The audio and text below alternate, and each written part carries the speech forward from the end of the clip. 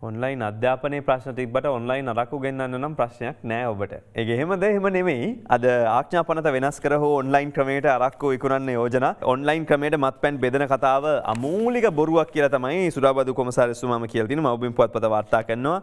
ඇතැම් මාධ්‍ය සමාජ මාධ්‍ය මේ සම්බන්ධයෙන් අදහස් විමසනවා.